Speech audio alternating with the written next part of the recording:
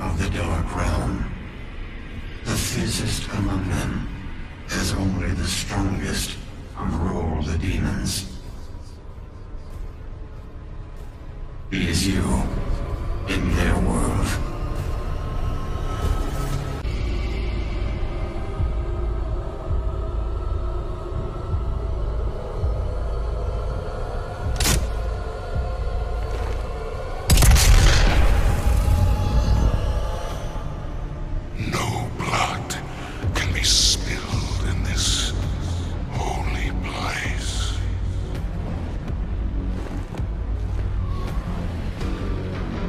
time